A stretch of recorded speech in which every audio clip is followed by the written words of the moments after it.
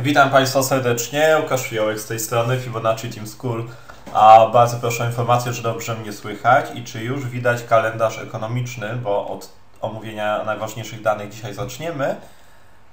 Ok, teraz powinno wskoczyć. Proszę o informację, czy, czy widać. Jak widać, to będziemy pomalutku e, już zaczynać. Ok, widać i słychać.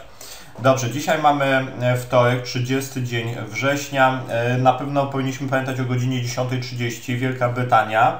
E, bilans obrotów kapitałowych, bilans obrotów bieżących. Widzimy, tych danych jest naprawdę dużo, natomiast tak naprawdę interesuje nas ten odczyt ostatni w tym kalendarzu, tak? czyli PKB w ujęciu kwartalnym, w ujęciu rocznym. Zdecydowanie najważniejsze dane w dniu dzisiejszym z Wielkiej Brytanii, dlatego zmienność na funcie, oczywiście parę GBP USD, GBP CHF, GBP.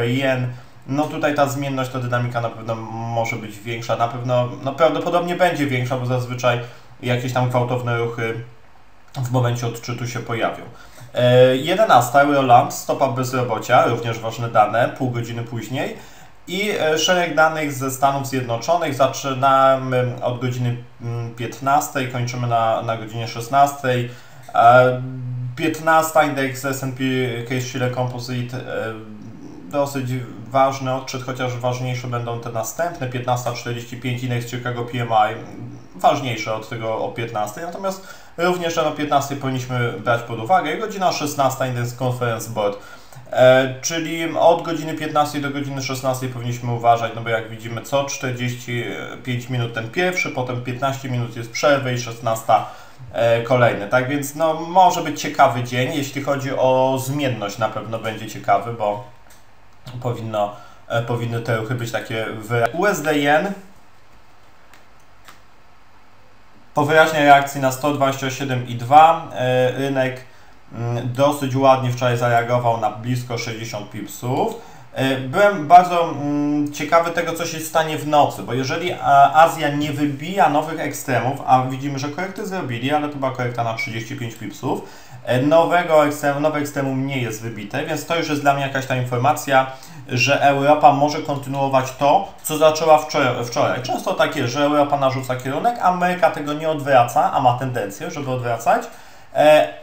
Na sesji japońskiej nic się nie dzieje, bo zazwyczaj ona jest taka no, mniejsza zmienność, mniejsza, no, mniejsza dynamika. Grunt, żeby nie wybijała nowych ekstremów, wtedy Europa prawdopodobnie może ten ruch cały e, kontynuować i na to też e, po cichu liczymy, dlatego zaznaczyliśmy e, te dwa miejsca 109, 108, 81, 82 i 108, 50. To są dwa warianty na na dzień dzisiejszy. Pamiętamy o okrągłym poziomie 109. E, tu jakiś przystanek myślę też może być, ale jeżeli e, Europa ma rzeczywiście kontynuować to, co zaczęła wczoraj, na ten ruch na, no, na ponad 50 pipsów można powiedzieć, że był taki wyraźny, to powinien ten poziom zostać, zostać wybity. Patrząc na interwale 4-godzinowym, hmm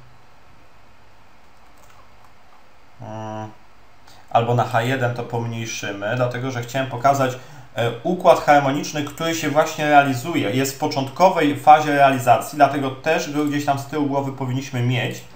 A, a to jest układ harmoniczny, który w tym y, kontekście rynku ma dosyć duże znaczenie, dlatego że to jest zewnętrzna y, formacja harmoniczna, a zewnętrzne układy harmoniczne mają to, dziś, to do siebie, że one zazwyczaj E, odwracają ten trend lub ta korekta jest, e, jest no, dosyć dobrze widoczna, tak? Więc 127,2 to jest takie miejsce, e, które może być wiadomo przetestowane i oczywiście może być poziom 110, tak jak Michał tutaj pisze. Natomiast to są już te okolice, które, które mnie interesują, gdzie zaczynam po raz pierwszy patrzeć po raz pierwszy od trzech tygodni na mm, rynek tak pod kątem spadkowym, tak? Dlatego, że już tutaj ten początkowy proces dystrybucji w naszej ocenie wydaje się, że już e, ma miejsce. E, podsumowując, 127,2 jako końcówka czy ponowny test formacji Butterfly, okolice 109,75, e, wsparcia 108,81, 108,49. Tak, to są układy na dzisiaj. To są poziomy na dzisiaj. Euro